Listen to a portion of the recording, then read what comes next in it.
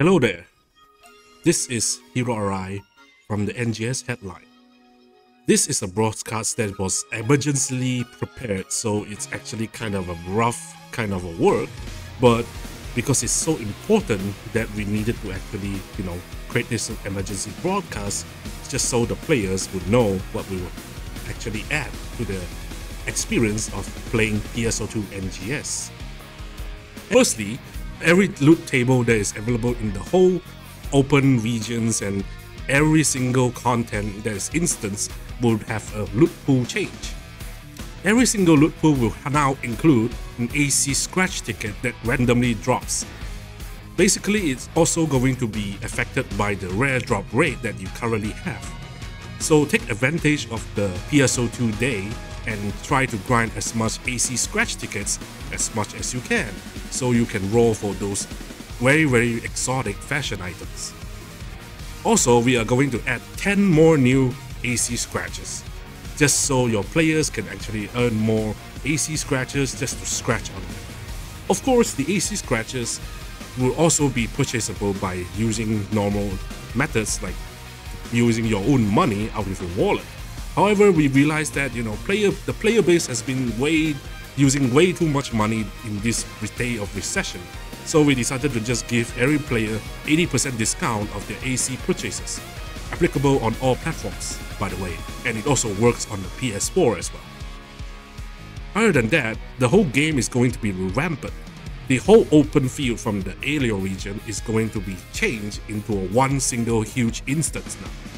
Basically, you can just travel from the Aelio region into the Retem region and into the Stia region and into Kvaris region without any loading screens at all. So our game finally has become a true open world now. Instead of being segmented, the whole world will now able to accommodate more than 100 players at a time. However, these 100 player instances is also spread in between blocks, so to avoid congestion so anybody who have a huge alliance with maximum amount of players can play together seamlessly. Also, we are going to add in like world events onto these open fields so that you can actually encounter a Dark Falz Solus suddenly just appeared out of nowhere and we actually allow the players to be actually able to participate in the certain raid of this certain boss that appears out of nowhere that is not an urgent quest. It's more like an emergency quest which we actually coined the term because it's actually much more cooler sounding. And this is going to have very unique drops that are usually not attainable in urgent quests. So anybody who loves to explore the open fields would probably enjoy the inclusion of this feature. Anyways, we also will gonna include extra new vehicles for the player to actually ride on so they can traverse around open field easily. So instead of just using your own player dash moves, you can now move exponentially much more faster with this new ride vehicle. Other than that, we are going to give every single player 1000 Star Gems because of this celebration of the PSO2 NGS version 3 release.